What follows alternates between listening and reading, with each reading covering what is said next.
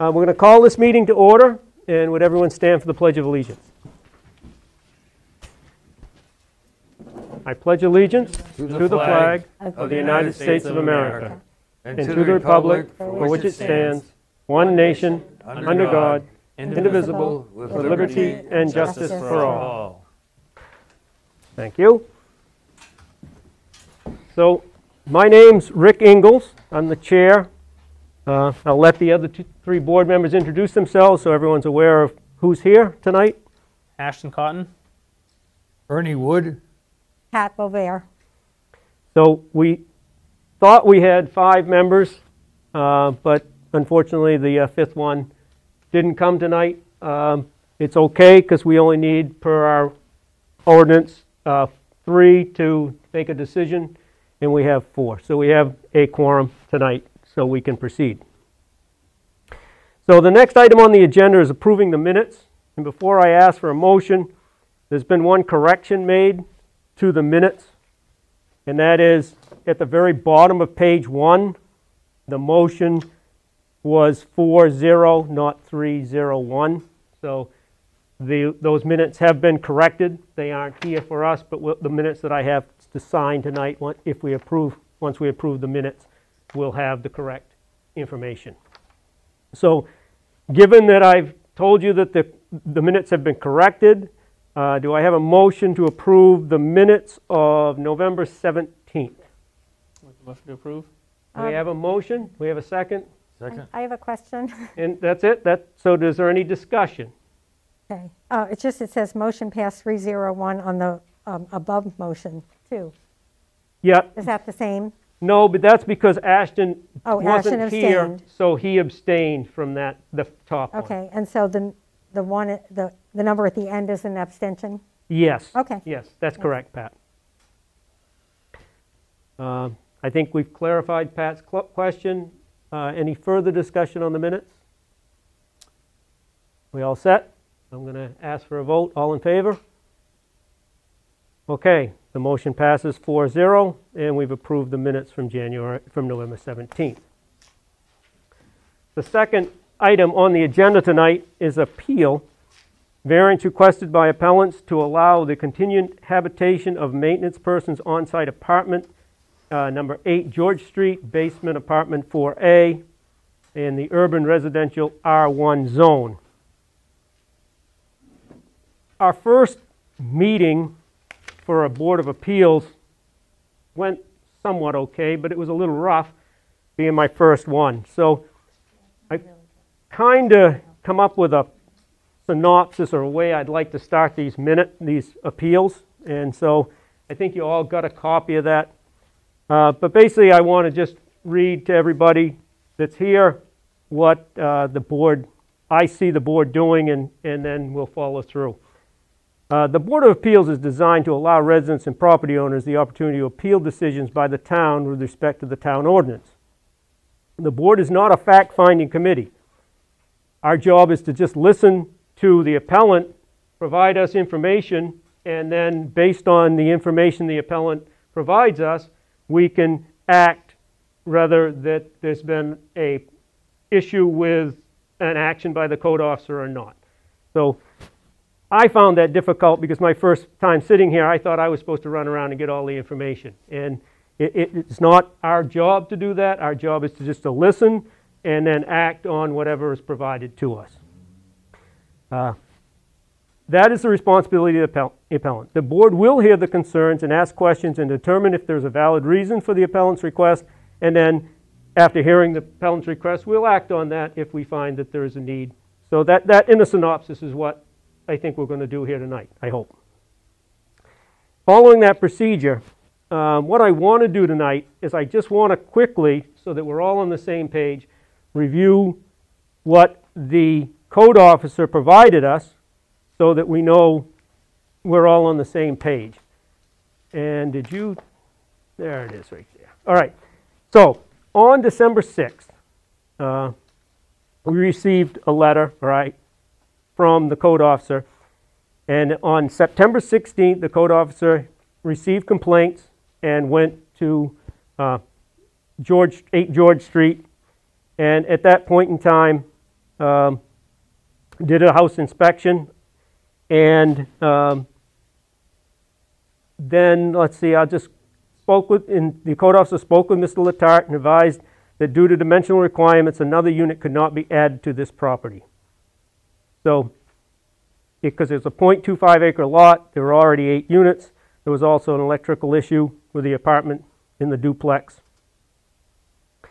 It was being fed from the duplex, and the tenant was using another unit's electricity and not on its own for the last three and a half years. Mr. Letarte stated that it needed to get a tenant out immediately, but the tenant was giving him a hard time about leaving. Mr. Tenant, Mr. Letarte also said that he wished the town could help him evict the tenant. When questioned about the electricity, he stated that he would have it fixed and hired, uh, fixed as he hired a local electrician to do the work. Mr. Letarte stated the apartment was already existing and there was not, and that, and that this was not the case. Mr. Letarte's lawyer stated that this apartment was already existing.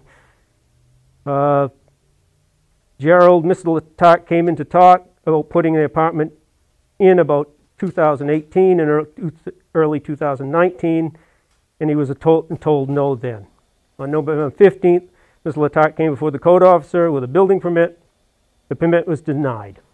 So, at that point in time, the permit was denied, and there was a notice of violation sent on the 20th, and that the apartment needed to be evacuated immediately. Proved that the laundry room and the legal apartment electricity was being fed off a separate line. And if that wasn't done, then there would be fines per the ordinance.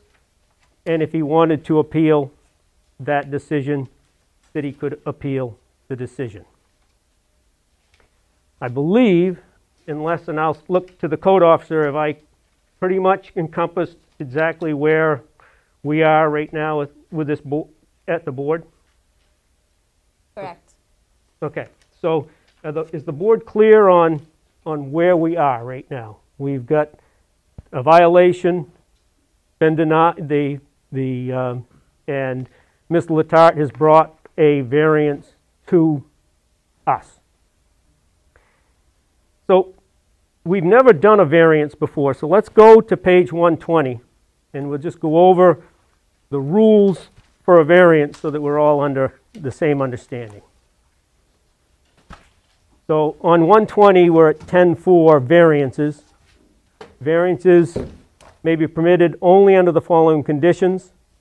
A, unless otherwise provided in this ordinance, variances are obtained only for height, minimum lot size, minimum lot width, structure size, setbacks, and open space requirements. So those are the, only the, those are the rules that we can act on here tonight. We, any questions on what those words state? Variances cannot, under any circumstances, be obtained for establishment of any uses others otherwise prohibited. And then there are the four requirements for getting a variance that if the appellant meets the, one of the requirements, then we'll go through the four rules. So, having said that, are we all set there? Are we clear to some extent on what, what our, our obligation is? Clear. So I guess I'm going to ask the lawyer for Mr. Letarte, or Mr. Letarte, just to explain, I, I wasn't exactly clear, I probably can infer, but what you're asking, what are you asking this board to waive? Or what's the variance requesting? variance of lot size. So you, you, you want to, us to look at the minimum lot size Correct. that's, that's on here. Okay. So, does everyone fully understand that where we're headed with this variance tonight? Yes. So, having said that, I think we are all set to hear from the lawyer for Mr. Letarte.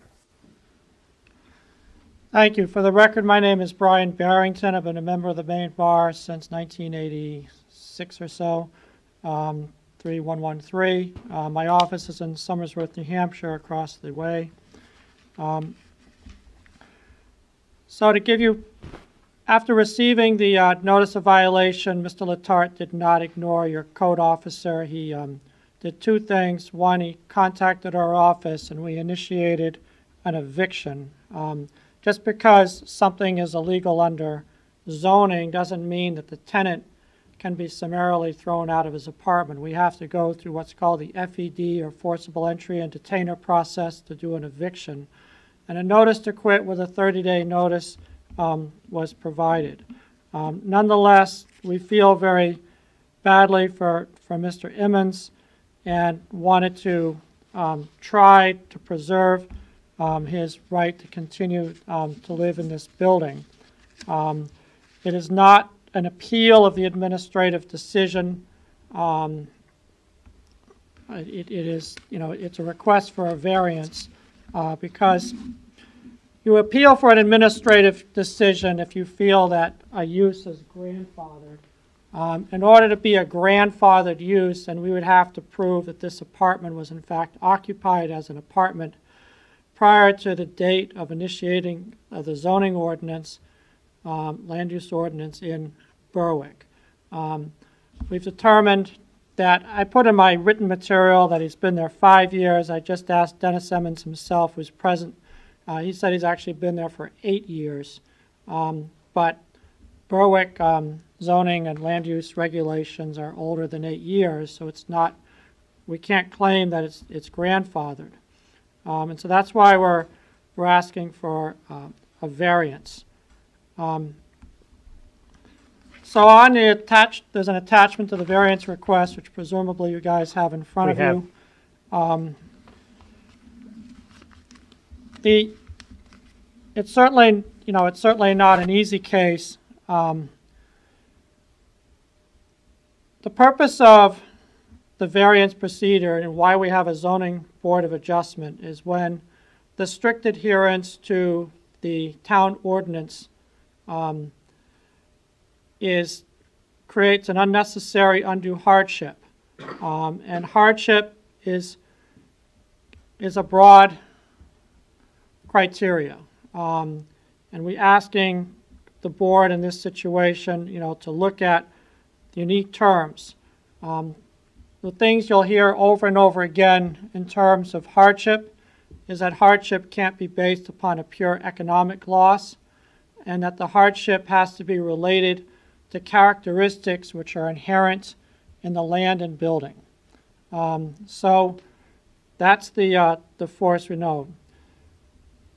So first, we point out that we really hope that the zoning board of adjustment can act as this safety valve um, for the public good, because certainly there is a severe housing shortage in the Seacoast region.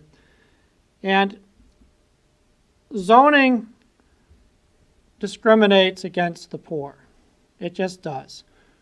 Here in Berwick, you have a downtown area that typically had mill workers in fairly high density. Um, The building has been there probably since the 1800s, or at least 19, you know, probably late 1800s is when it was built.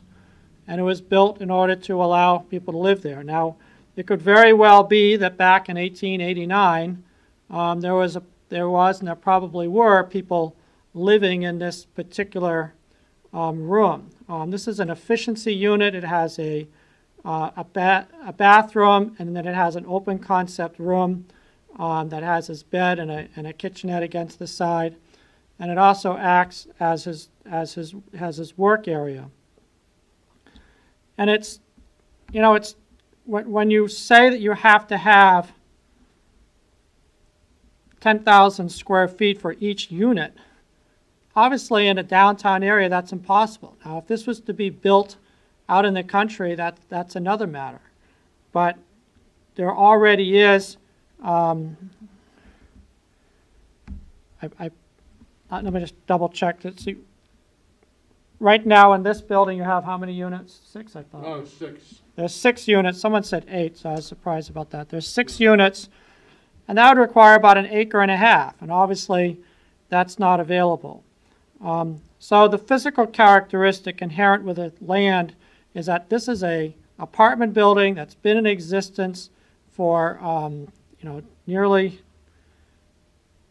um, what is that, a hundred and, two thousand, you know, one, one hundred and twenty years um, with people in and out over times, and um, and you can't get additional land; it's all wedged in. Um, secondly, we're asking you to look at the unique use of this particular. He is the maintenance person, not only for this lot and the six units there, but my client has 11 apartment buildings throughout Berwick, and and he is the local rapid response maintenance person, super person that, um, that goes around and manages those repairs, um, does the snow walk, clears the snow and ice, and maintains the buildings for the benefit of the, of the owners.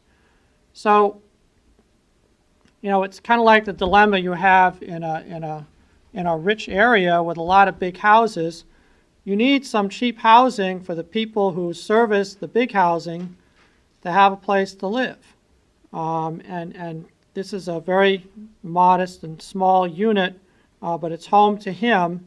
And the area benefits from having um, someone who's local, doesn't have to drive in from abutting places. Um, so the unit itself is also the workshop.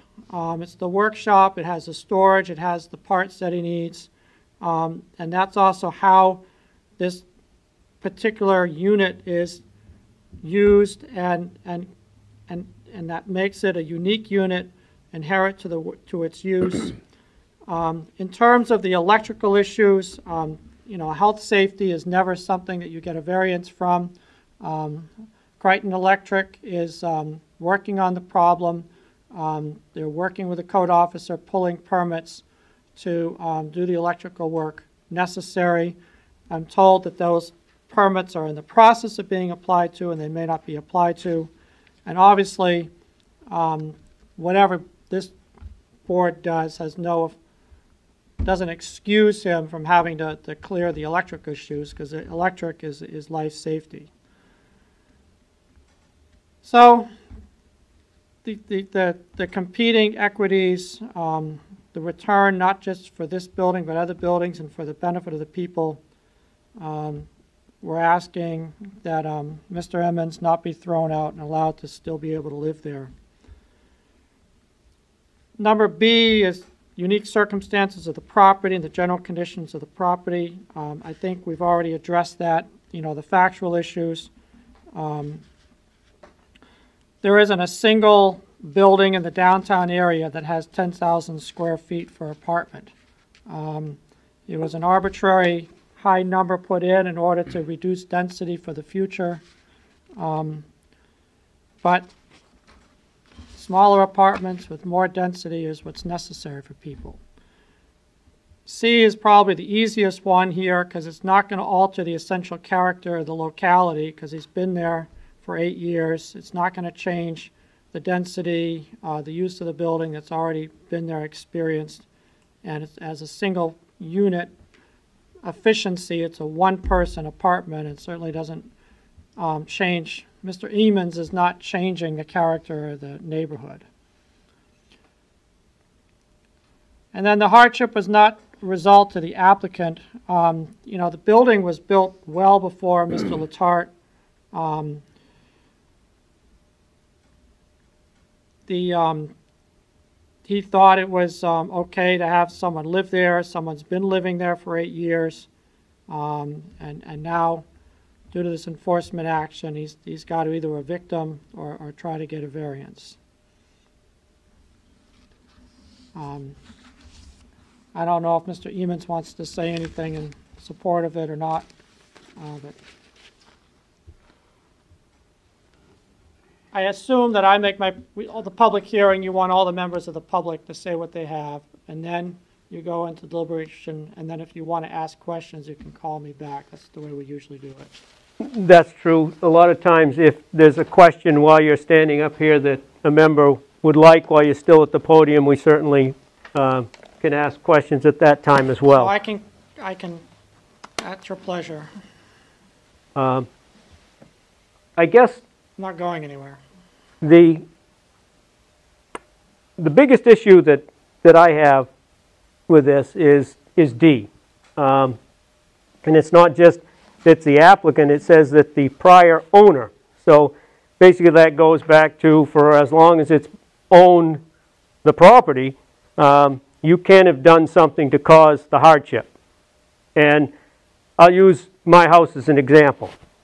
Right now, I, we put on a game room on our house that my mother-in-law lived in when she could no longer live, you know, on her own. We didn't come to the town for a single, for another occupancy permit. It wasn't an apartment. It was just, we all lived in the same, it, same house. She just used that room because she couldn't live in her house alone. Um, if I was to advertise that as selling it with an apartment in it, I would expect that I'd have to go to the town and say that now it is an apartment, and I'd have to meet all the requirements that would be enforced by the town.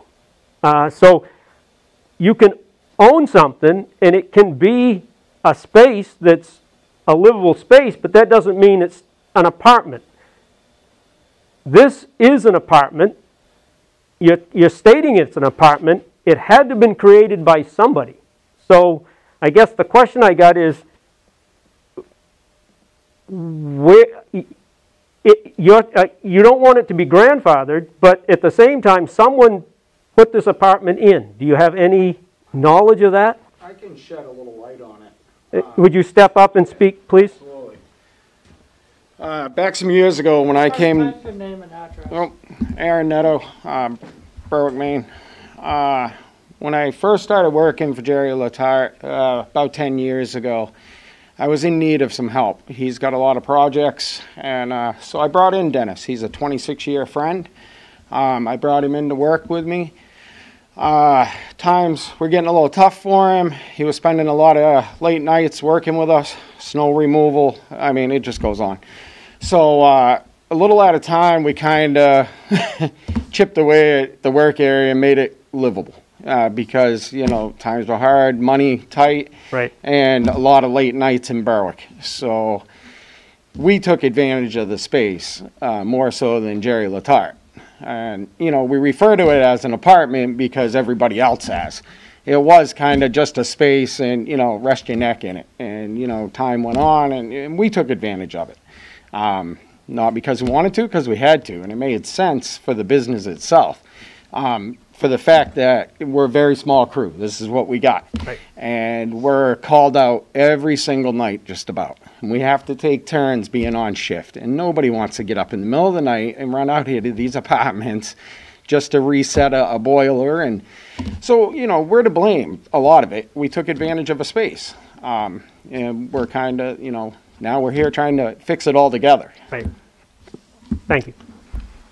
So he, he gradually spent more and more Step up to the podium just because we're on camera. Thank you. So my understanding is, is that he, he, he, people have been crashing in that room for a long time, and then instead of just crashing after doing some work, then he started staying there more overnight.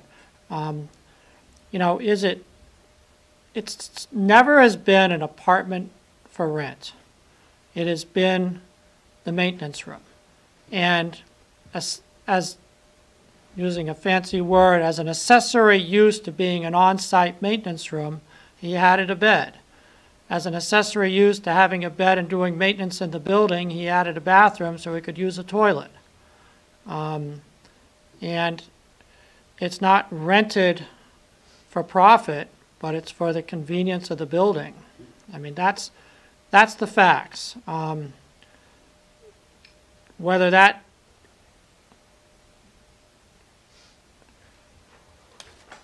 I mean, there wasn't an intent to rent this out as an apartment and create his own, his own hardship, but it was a necessity of business to have a place where someone could stay. And those are the facts, and that's the way it is.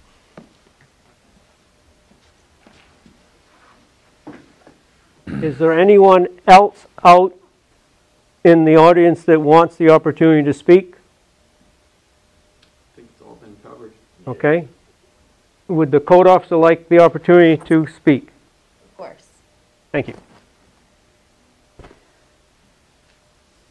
Very first came into the code office um, in 2018. It was like the winter, so it could have been early, early 2019, but I'm pretty sure it was that December in 2018. And um, he asked if he could create another apartment in his building. Um, at the time, the code officer was Dan Vincent. Um, Dan told him no. So 8 George Street, just to give you guys a little history about our land use ordinance, um, it's right outside the village. It's actually one lot outside the village. Um, so anybody can come in and go in front of the planning board and the select board and ask for their lot to be inside the village when they're that close. Um, there's actually, um, believe it or not, there's another lot on the other side of the road that is ask, asking to be inside the village to turn into a apartment building, which is a single family house now.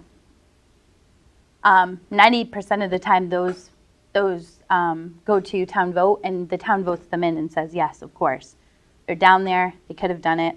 I told Jerry this over, you know, in the office a couple weeks ago. But anyways, go back to 2018. He was told no, simply no.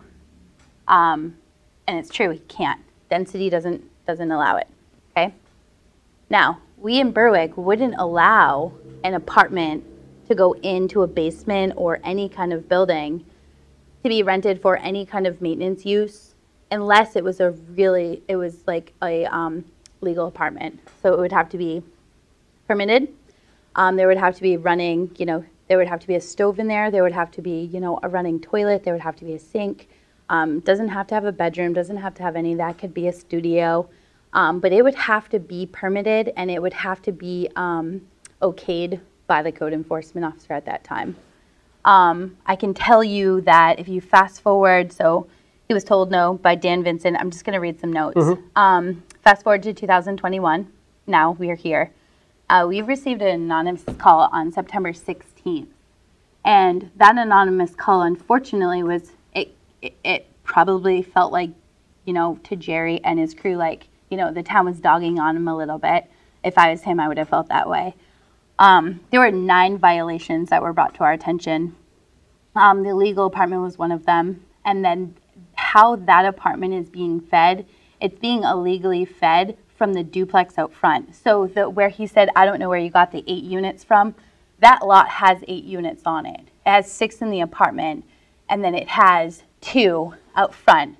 They have a building permit right now to renovate one of the front apartments in the duplex.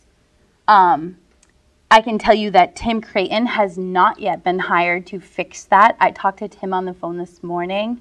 Um, he was going to look into it, give Jerry a quote, and then go from there, but he has not yet been hired. Um, You signed a check today. Go ahead. Yes. I Please. signed a check Hey, today? Today, yes. Okay, well, as of, this was as of 10 o'clock this morning, so that probably happened after. Um, maybe it did, I don't know. I can only go on uh, the facts that we have. right. Um, Ju- Just one second. Yeah. So you certainly hold your comments and raise your hand, and certainly I'll let you come and address any concerns. Yep. All right, so um, another thing is you're calling it 4A. It's not, it does not actually have an apartment number. I want to make that clear. Um, letters were sent to Jerry. Um, he never disagreed with the illegal apartment. He's never once come to us and said there's nobody living there. He's been upfront and honest about it the entire time. Um, he, he was even upfront and honest when we called him out on the um, illegal electricity issues. He said, we'll get them fixed, no problem. He's never denied them. Um, he did come into the code office many times, and Tammy can witness that. Um, she's been in there when he's come in. He's he wants the town's help to get this tenant out. He doesn't want the tenant there. That's what he keeps telling us. Uh, members of his management um, wouldn't help him. They want to stay out of it. They don't want to get involved. That's just what he kept saying. Nobody will help me. My managers won't help me. No one will help me with this. Um, I told him we were unable to help him with this too. It was a no from us. Um, he said, um, my tenant can't move, there's nothing for him to move into out there. He needs this apartment, needs this apartment. That's typical, something we would hear. Um, the letter that came in from the lawyer said that at one time that this could, this was possibly a rental unit. Um, so it said that this building was put up in 1900s. Um, it was a unit, whatever. I can, I can tell you as of 1998, and our land use was before that. It was not because I grew up in a, the apartment adjacent to that, or B. And I can tell you that we used to play downstairs in there, and the laundry room and that apartment were not in existing at that time. Um, and again, we moved out in 1998. So I know, but prior to that, it was definitely nothing um, that was there. There was no bedroom there. There was no anything there. It's where Jerry used to store his stuff, you know. Um, other than that, um, I, as a code officer, I don't have the ability to um, grant them density for that apartment. I don't. Um, I have to follow our land use ordinance. Our land use ordinance says that there cannot be an additional apartment in that building unless they wanted to come in and um, provide information to the planning board, um, talk, talk about it there, and then go from there, they could um, go to town vote to see if that they could be part of the village overlay district, which would allow him to put more apartments in that building if he wanted to. Um, But I have, I can't help him any further. That's all I have to like There's a potential clear path to make it legitimate. There is, there's a few. Yep. I'm going to ask question, um, if, because I'm not quite familiar with how this would all work. Sure. If this board was to uh, allow the, make a variance to the minimum lot size, there's still no permit on this building. Would there have, would the applicant have to come in and get a permit for this, even though we've waived, knowing that we waived the lot size? His permit's been denied for this building. Because of lot size. Mm-hmm. So if this board, His permit was denied after he filed for this appeal. right, but I guess what I'm saying is, I- I'm, just want to know if this was allowed. We, we, this board agreed that the minimum lot size for this apartment could be waived. Would there be a, re- would he have to come back in and get a building permit for this apartment? Yes, and at that time, we would turn it over to our town attorney to see if we would even issue one. Yes. Because you said that you, you saw nine violations, is that, It has nothing to do with the violations. Um, the only violations that are like in existence of this apartment that deals with this, but, uh, you know, particular case would be the illegal apartment, um, and the, um, illegal electricity feed into this Okay. apartment, where another tenant is paying for the electricity of that apartment. certainly? Yeah, that- I mean, I, I certainly understand that, that's an issue, so, I- Yep, those Just- are the only two issues that would be, everything else didn't really have anything to do with this in particular. Right, okay, that's, really, I'm just trying to, that's what we're here for, is to Sure. get all the information, gather it all, so that we can, you know, act on all the information we, we have available. Sure. You, you had a question or a comment? Yeah, I just wanted to correct it. Can you stand up, please? Yep. Yeah, I wanted to correct it. Nobody else is paying for the power but Mr. Letarte. The power is being run off the other building, eh, the project that we have a permit on that we're renovating. That's where the power's coming from. Thank you. Um, Any other comments or questions from the public? Okay, at this point in time, we will close the public portion of this hearing, and the board, like the lawyer, I'm sorry, I, I forgot your name. Barrington, Brian Barrington. Mr. Barrington mentioned, we'll discuss, and if we have questions, we will ask people to answer any questions that we might have before we act on any of the items here. So, having said that, I will close the public comment portion, and uh, I'm going to look to the board to, was there anything that you were confused about, or any questions that you wanted to bring up? Between us first, and then So you, you want to ask a question? Yes. All right. Go ahead. Oh, I'd like to know why Mr. Letarte does not want to go ahead and um, try to join into the village overlay district so he can make That, legitimate. Excellent. And that'll, you, well, we're having immediate, we have a cease and desist order with a hundred dollar a day fine penalized. Um, So we don't have the luxury of waiting until town meeting in the spring before he has to vacate. So we're just trying to hold on to it, Bridge the gap. yeah. So you Um, are. I do taking- have a copy of the notice to terminate tenancy that I filed just to So- show that we, we did that as well. We haven't filed it with the courts yet. It's- it's- What is it a date notice was up for? to December third. The I'll- I'll eviction pass it notice that around. I gave Mr. Emmons.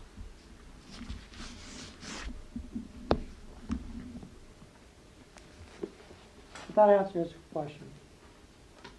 Terminate. This is a termination can always of his, re- rezone pass it it. down the path. That takes time.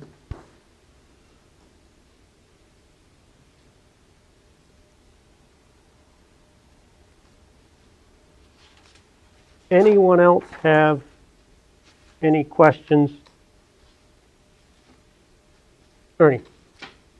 Uh, Mr. Barrington, I- I'm reading your letter to us. Um, And I've gone over it a number of times. And one of, the- I have a couple of questions uh, for you. Uh, Just so you know, I'm a person that uh, I operate in terms of making decisions based on facts rather than opinion. And everybody's got an opinion, but sometimes it's the facts that drive the results as opposed to opinion. Uh, in your second page, or, um, it says the apartments here, uh, under A, under the variance, it says the apartments, I know there's some opinion above there about, you know, the history and so forth. It says, the apartments here and on adjacent lots cannot yield a reasonable return without this maintenance man being available. So in my opinion, that's, or my read on that is that that's an opinion, that it, it- it's, it's not based on, it, it's not based on, uh, I guess my point is that another, another maintenance person could be hired. Another uh, firm that does maintenance could be somewhere off-site. So to say that uh, this maintenance man and this apartment or, or lot here is, is uh, so it, it can only be that, or there's no, uh, no, no way of having a, um, Alternative. an, yeah, in, in, uh, income. Um, and so I was just curious as to, uh, that, that piece. The other thing I, I, I have a concern about, and I don't know if the code enforcement officer has, has jurisdiction on that, and that is, uh, in, in your, in your brief here, you have indicated that this space is also a tool room, a storage area, uh, a workshop, and some living space. Is that correct? That's my understanding, yes. Okay. So one of the things that I would have a concern about is what's in that space other than the living space with regard to chemicals, uh, gasoline, uh, I don't know. I'm just saying that if it's a storage, a tool room, and a workshop, and a living space, all in a space that is called 4A, from our point of view, how does that square in terms of its use? Uh, And it might have some bearing on whether or not um, we can act. But we're not, we're not, we're not code enforcement officers and we're not people who uh, have, you know, con- concerned about other people's health. But I have a question about that, so I don't know how that, that- and it's in your brief though, so I'm raising that question. So to answer your first point is Mr. Jerry Letarte's position that um, he wants to have a person living in the midst of the property so they have immediate response. And for, as you heard, when there's late night work, he can come in and out. Um, And it's not that he'll make no return on his investment if he had to hire other people, but we think it's reasonable return on investment would allow him to have a maintenance person on site for the benefit of all those people. In terms of what's stored in the unit, I mean, I can ask Dennis to say what he has there. I don't think he has, you tell us, do you have dangerous chemicals or gasoline? Yeah. Sure, they want to hear from you. Just say your name and address. My name's Dennis Emmons. Uh, my address is 8 George Street. And there's no chemicals whatsoever in my apartment. I just have my own hand tools, tool bags, stuff like that, just in case I need it right then and there. If I have to work on something right then and there, then I can. But there's no chemicals whatsoever. That it? Uh, Do you have some, do you have some like hardware or locks or, my understanding is there's some parts there. Yeah, I have miscellaneous parts laying around. If we have to change doorknobs and Right. smoke detectors, and just all basic things we need for the apartment, just little minor things. Nothing with anything like that that can ever happen. Thank you. Thank you. What, uh, I'm going to ask the code officer, what would be required to get an extension into the village? What, what's the process of- for that? They just have to write a formal letter. They have to come in front of the planning board, um, share their want for that. Um, The planning board would tell them to go in front of the select board at that point. The select board could put it on the ballot for June. And because of where that building sits, 90%, if, as long as the town was okay with it, it, they would be in the village. So i- i- it's, and I think you said that too, Mr. Barrington, I just want to be clear. So it- basically, i- i- there's a process and it would play out till the next vote for the Yeah. change in the ordinance. Because the Yeah. ordinance, and that makes sense, the ordinance has to be changed to allow that to happen. I can't allow it. I understand. The ordinance has to say it. Um, I just want to make that clear. It's not something that Right, can just it's not say, a personal oh, sure, opinion. just do it and go ahead. It's Right. not. It's a. It's fact. It's our land use. It's our law. It's our town Right. Mm-hmm. laws. You know. I also want to say that. Um, what was I just going to say? I don't know. I don't know. It will come to me. It'll come back. Yeah. Oh, I also want to put on record too that say, you know, Mr. Barrington has come before you um, and told you that Jerry would love a maintenance man on site. Can All I, right. can I keep going? No, I, I don't think you Okay. can because you're not answering a question, and Okay. then we'd be opening up public Sorry. comment again. No, that's all right. Uh, I, I wouldn't be comfortable with that. No worries. Um, So, we've, uh, do we have any, oth- Pat, how are you doing over there? Do you have I'm any? feeling very uncomfortable about all of this. Well, a- a- what do we need to help you clarify any of this? I mean, I am all in sympathy for Mr. Emmons. Um, And um,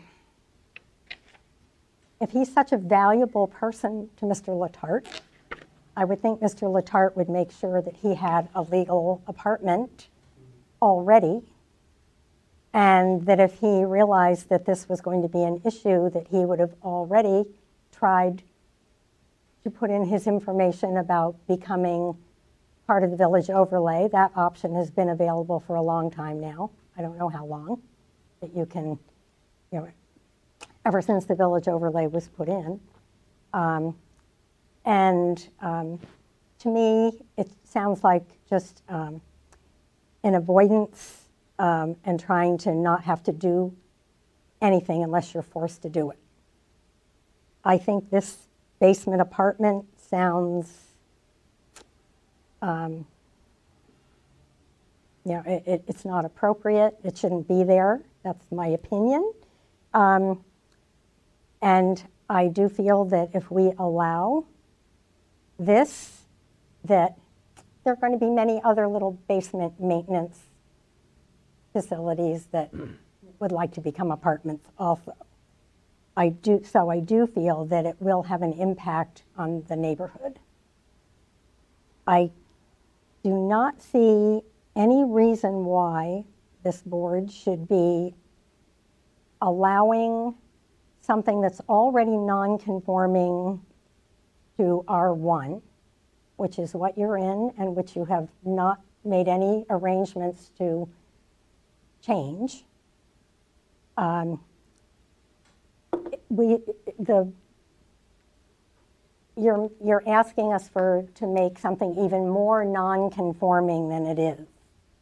And that isn't what the zoning ordinance is supposed to do. Anything that's already non-conforming, the only changes are supposed to be for something to make it less non-conforming, not more non-conforming. So I feel like that's not appropriate. Um, I also feel like the lawyer is giving us, you know, the emotional piece about all this, which we, of course, all agree with. um, but then Mr. Letarte, coming into the code enforcement officer previously, says, I, I want to get this guy out of here. You know, he, I, I, I want to get him out. I don't have any way to get him out. You know, I need the town to help me get him out. It's like, something isn't jiving. Um, and we really have the, the dimensional requirement in R1 right now, and adding another apartment to this, which has already been denied to Mr. Letarte. He's already tried to do this before, and now he's trying again. Um, you know, it- it's like, what are we doing? Trying to, you know, uh, to me, the whole thing just doesn't make any sense. I I think that the, the variance for the lot size, which is what the lawyer is asking, I, I don't think it's appropriate for us to give because we're making something even worse than it is already. So those are my well- general feelings. And I think what, basically, there is a process that's more than likely going to allow that to happen. What to happen? The, that to get redistricted into the village, and, and that's not being pursued. So, I mean, it can be. So it's not like it's not an option to do if, if they, if that was so chosen to be done. I know it's inconvenient, And because, it's expensive, but you know what? It- Everyone else in town who has an apartment and who lives next to the village overlay, that's been the talk of the town. Do I want to be part of the village overlay? Do I not want to be part of the village overlay? What do I have to do? Da, da, da. So the fact that you're being, that now we're, it's being brought up and um, it's being forced, um, you know, like, pay your dues. Yeah, the options Yeah. are there. uh, you know, uh, plenty of other people in town are waiting or deciding and that kind of thing, the same issue, and if we keep, if we want to give him some kind of an extension, so he doesn't have to pay, pay the fines or whatever, is that what was? That's what they're looking for, from my Yeah, understanding. it- it's like, oh, well, you know, you should have anticipated this and done this. Everyone else in town is concerned about the same thing, and if we give that to you, we're giving that to every other person who, you know, I don't, no, I don't think that's I will ask the code officer a question, now that you've brought that up, Pat. I, I- don't know exact. Right now, there's an eviction process going. Is that true? Well, no, we, we just saw it. There's an eviction process going. So they're in the process of trying to get the tenant out. Um, If it was just a matter of once the tenant's out, they're gonna have to come in and get a permit, and like you said, you might have to, if I'm talking about if, if this was waived, i- i- if all of a sudden this, we agree that this is allowed to happen. Um, The tenant's out, the, still gonna have to come in for a permit, I hope, because that's what everybody else has to do in the process. I mean, just because we waived the minimum lot size doesn't mean that the, the apartment exists. It still would have to come in and get a permit and go through the permitting process. Um, The only thing I can see, what Pat brought up is that the, um, the fine is in- being incurred every day while this is happening. Is that true? It is true. We have no court date pending right now, um, and we have, we have nothing on the docket to bring Jerry to court as of now for this. So, and that's, that's who the judge would, Oh, the judge would be set, and so right now there isn't a fine, was it retroactive or? from the date of the first letter on September 20th. Right, so from that point on, if the judge found that there was a violation, then there would be a fee assessed based all the way back to That's correct, and the fee is 100 to $5,000 a day. a day. Every day the violation is in existence. Okay.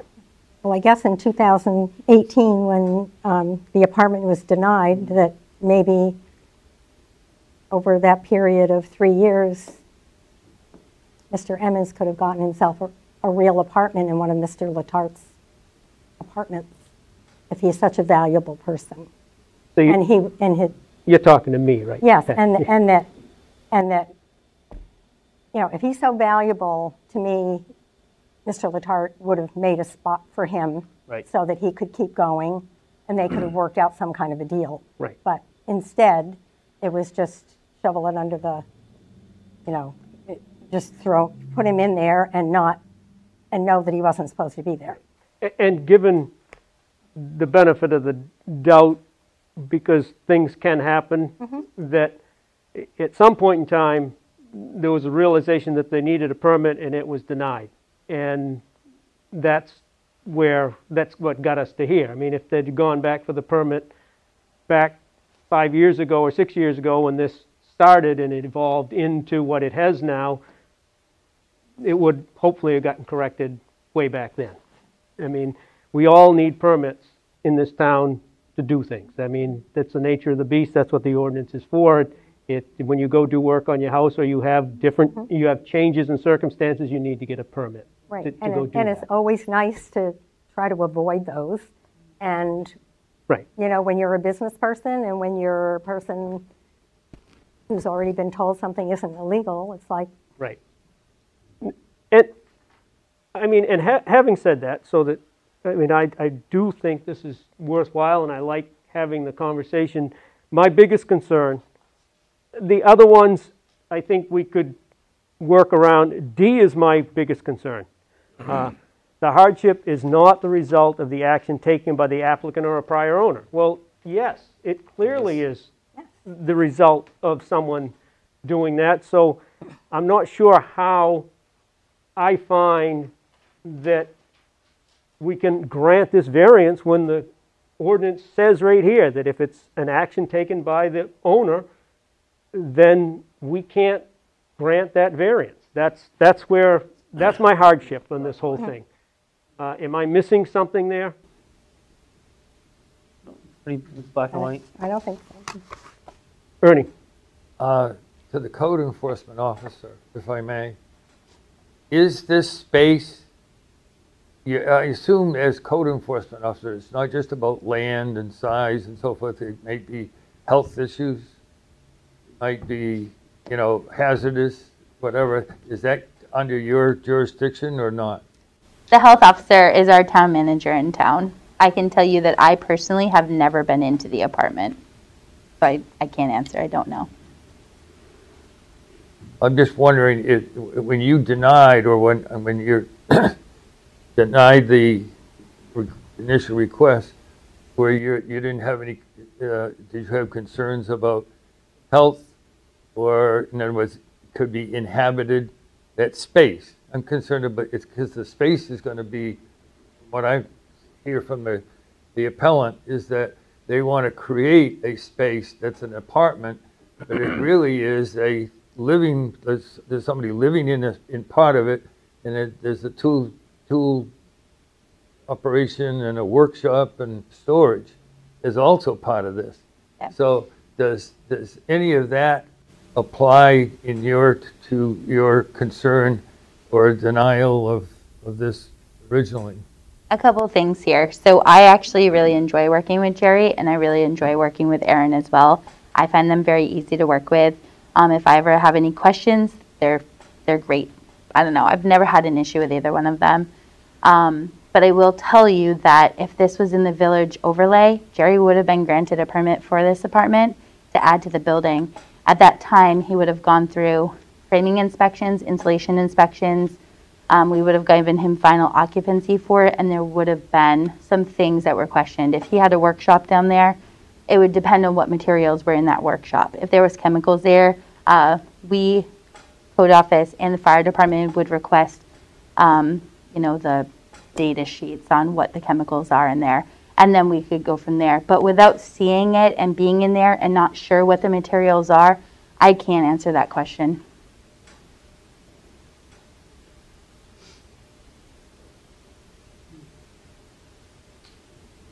What do you think, Ashton? You got any, any questions or anything? I think uh, Mr. Letarte should have uh, pursued the village overlay some time ago and made it into a good place for uh, Mr. Emmons to live. And he still I feel can. about it. Yeah, it's still there. Just you're going to be uh, you know, accruing some uh, fines until you can get that done. Ernie? is, uh, I think what Pat is saying is, to me, sometimes common sense um, has, has a real place in this. And uh, uh, unfortunately, uh, some things that should have been done weren't done. And if we're, if there, if the appellant is serious about having a maintenance man on site and available 24/7, uh, then common sense tells me that they, the, the uh, person who owns the property would make that happen without having to uh, go through all, all of this. And uh, that's, to me, just common sense. And I realize there's a lot of, you know, uh, ins and outs of this issue, but uh, we're probably, in my opinion, not ready to make a decision unless we have a lot more information and, uh, and also uh, uh, develop the- what the legal status is of this What information do you think you would need, I guess? Well, I'm, I'm, con- I'm concerned that if, let's say, I don't know, it, it- the, the process, but you said that you could appeal to the town to get, uh, a change in the, in the land use ordinance so that they're in the village, what does that mean in terms of having an apartment, so-called apartment, that has living space, storage, tool room, and, and workspace? Um, there's a lot of uses there. And, all of those uses permitted, I don't know about that. I don't know how that works. If, if somebody is operating, uh, wants to operate a, a tool shop somewhere else in town, and then they want to add a little piece of room for a bed and uh, hot stove and whatever, toilet or, uh, is, is that how that works? I don't, I just Well, don't. that's the permitting process, and Right. that's, I think, what we asked, you know, if we were to agree that all four of these variance parts were met for the minimum lot size, wouldn't change the fact that the permit is still, there's still gonna have to be a permit issued to allow this. All we're doing is saying now, it would be like what, um, was, was mentioned is if it was approved right now by the town to put this into the village overlay, then the, he could come to the town for a permit. The permit would have to go through all the necessary requirements to, for the permit, so that wouldn't be our call. I mean, that's gonna be back to the town's call whether the, the building is an adequate space to be apartment. We're just saying the minimum lot size is okay. We're gonna waive essentially the minimum lot size for this and then go back to the code officer to reissue a permit if they meet all the requirements for a permit. We're just saying it's allowed, the lot size would allow its use in that building. You following what I'm saying? in the village overlay. Yes, because i- if it was in the village overlay, which we're fairly confident that if the process was met, that would be accepted into the village overlay, then they, Jerry could come to the town and get a permit because the minimum lot size wouldn't be there anymore. So, again, the, one of the things that, when I sit on boards, and I've sit on a, been on a few of them, is and this probably goes against everyone that's going to come to this board in a sense, but I hate to set precedent. We have rules in here, and the minute you make an exception, it's kind of like what's brought up, you just, it never seems to end. Someone else, I mean, that's why we have the ordinance. But I'm not making that decision based on that. We're going to look at these rules and make sure that the rules are met. And I'm still going to get back to D, really until, unless someone in this board can convince me that how D is met, I don't know how we act on this. I mean, clearly, this was caused by the owner or a prior owner. This didn't become, the lawyer, Mr. Barrington, said that they're not pursuing the grandfather issue. So we're not talking about before 1985. So it wasn't, essentially, it wasn't in existence before 1985. That means it was made an apartment by somebody, not us sitting here at this board. And I don't see that we have the authority to grant that because it was made by the owner Self-inflicted. self-inflicted. And it's not personal, I just, I'm not having a hard, I'm having a hard time getting over that rule.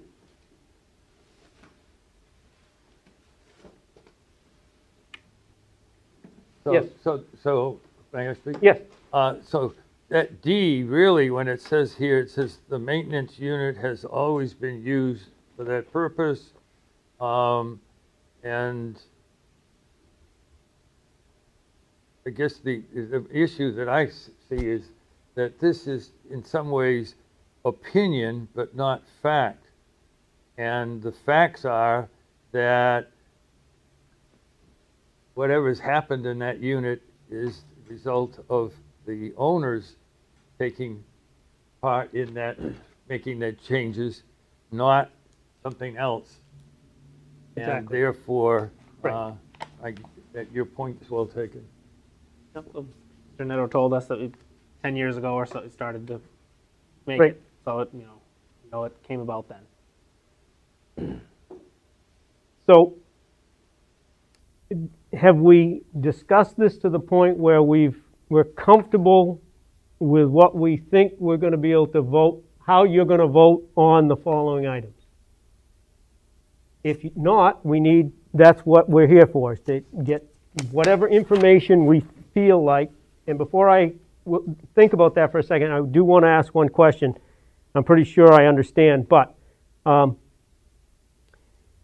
these items, all four, if you, if they don't meet one of those, that's it, right? You- It's not like you have to meet all four or anything like that. If, if this board decides that they don't meet one of the four criteria, and that would be a majority vote of this board, right? So, and I, I will say, uh, I guess, well, I'm going to ask for clarification as well, because we have a board of four. So what happens if we have a 2-2 vote on an issue? What does that do? However, the chair votes is what passes it, is my understanding from legal counsel. That, that it would not? It would. It would. would. So hopefully, we don't get to that point, but if we do, we'll have to um, If, if we go down and um, look at each one of these questions, or can we talk about them Absolutely, individually? absolutely. Okay. I, I'm okay with that. I mean, I'm just trying to get a, gather the, get all the gist of everything. Mm-hmm. And to be quite honest, I don't know how legal it is, but I, I would like to start at D. This is what they're talking about, just so you have it. I don't, And if we kind of start at D, then I think all of them have to be voted on. Right, you have to vote. we have to vote all of them? Okay, All sorry about that. Thanks, Pat. have to be voted. Okay. So, I mean, you're welcome to vote, but we can also just withdraw the appeal. I mean, it's, it's clear how you're gonna vote. I'm, I'm sorry, I can't hear you. If we want to be able to send you home sooner, we can state for the record that we'll withdraw the appeal, go forward with the eviction. I mean, you've already said what you're gonna do, so. i- if you're comfortable with that, I mean, Mr. Letarte says he'll withdraw the petition. I mean, we, we wanted to just do what we could do. Microphone. It needs to come up. Yeah, they can't. Sorry. Mr. Letarte withdraws the petition. Um, we, we did want to see what we could do. It's clear. Um, we withdraw the petition. duly noted. And we, when we thank you for your input, I mean, obviously a lot of facts came out today, which is very interesting that I wasn't aware of. Thank you. Do we need to follow through with this procedure? I don't know. Oh, it's the end of. I said it for the record. I can, I'll send you a letter too. That would be the best way to do it, is to also send the letter, but because it's on the record now that he has withdrawn his application, you don't need to make any decisions at all. No decisions because that case no longer exists any longer. He withdrew the application. The appeal application for the variance has been withdrawn. Understand that. Okay. I just want to put on record, Brian, that if you have any questions about adding that to the village overlay, please call me or come in and we can meet and I can help you with that process. Thank you. Okay. Hmm. So with the appeal being withdrawn, that, I believe, ends that item on the agenda. And that, I flip this over. Thank you for your time. Thank you. That gets us to, there is, I do want to, while we're here in the meeting, um, Are we still on? yep, we're still on, real quick. Keep the, on the wall. Um, We do have two items that are still outstanding, and that was the policy, the board policy paperwork and the uh, work for, we wanted to modify the uh, applicant's fact sheet. We still have those two outstanding. I thought we decided how we wanted to um, We change did, it. we did, but then it never came back. We, we sent Oh. that for corrections, and it never came back Oh, to okay. formally be accepted by this board. So Okay. would you be interested in meeting the second Tuesday, second Tuesday in January? Second Wednesday. Second Wed, geez, I get it mixed up, all right. Second Wednesday to have those two addressed, and we can approve the minutes at the same time for this meeting? Would that be okay with everybody? It's, I know it's over the holiday season and winter time and everything, but I just thought that way we can get that all clear, done, and then we don't have, uh, then we can maybe skip a meeting, and then maybe in March or something, we can have another uh, workshop on another issue that we might want to discuss. All right, so um, I'll, I think that's noted in the minutes, that uh, we're going to have a meeting in Jan, in January, the second Wednesday, to, Calendar. Day. uh, I think 5th, 12th. Yeah, I think it's the 12th, because I think I have a negotiating meeting for the union on the 5th, and I'm sure that's a Wednesday, or at least I'm thinking it It's was. Like. January 12th? Is that, if it, that's Wednesday, do you check in? Yes, yep. Yeah, that'll be the second Wednesday, January 12th. This Yep. came January from the 12th. Lawyer, I think, or from you. I have it. It's the 2022. lawyer's paperwork. Okay. Um, yes, 22. That was the only other thing I had. At I just 6:30. wanted to bring that up before we close the meeting. Yes, Rick, would you be able to meet with me before the meeting so I can make sure I've got the two documents? absolutely, absolutely, for sure. At the stage where you remember them being there. That would be, I help- remember one came back, but yeah, I'm still not That's fine. No, I think it's important that we do. I, I certainly will sit down. I have off between Christmas and January. Are you, you working any of those days? Yep, we're only open Monday and Tuesday of next week, and Monday, Tuesday, Wednesday of the week of the new year. All right, so that'll work out fine, because like I say, I, I do have that week off, so that makes it convenient for me to stop in. So I'll, I'll ch- send you an email and check in to make sure you're there, and then I'll stop in. Okay, great. All right, so Six thirty. that was, yes, it would be at 6:30. So I need a motion to adjourn. So moved. Got a motion by Ernie, a second? Um, Yeah, I- I Pat's, just, a- Pat's a second? no, no, no, And no, there- no, and no, what? I, I just wanted, to- uh, where, where are they now? They, they're gonna be what I- looking at paying a fine once they go to court, right? Yeah, so um, basically he'll have to, they'll have to file that letter with the court um, um, to get him evicted. They will have to, we will be bringing them to court over it anyways, um, unless he tears everything out and we can see that. Should we stop talking? They're Okay. not here, you can't discuss the case. Oh, oh, okay, They are not okay, here. all right. Great. I just didn't know how. Where we are, we are at adjournment. That's where we are now. I There we go. Yes, I vote. All in favor? Ernie, you in favor, or you abstaining? All right.